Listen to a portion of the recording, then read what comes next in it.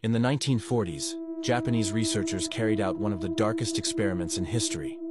They wanted to know, how long can a human body survive in extreme cold?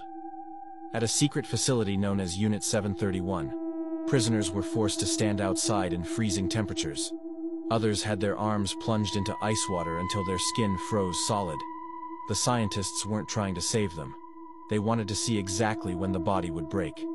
When the limbs turned white and stiff, they tried to reanimate them by pouring boiling water over the frozen flesh or by holding it next to a fire. Victims screamed as their skin cracked and peeled away. Most didn't survive, and those who did lost everything. Fingers, legs, even their minds. These were not medical treatments. They were torture disguised as science. So what do you think? Should stories like this be erased from history? Or told so the world never forgets? Follow for more true crime horrors that will keep you awake at night.